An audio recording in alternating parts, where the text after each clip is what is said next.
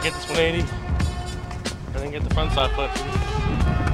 Get a trick and go.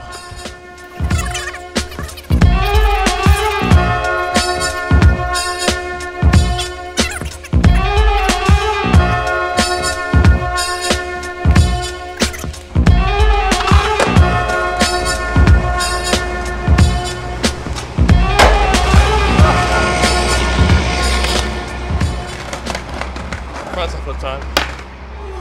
Bye.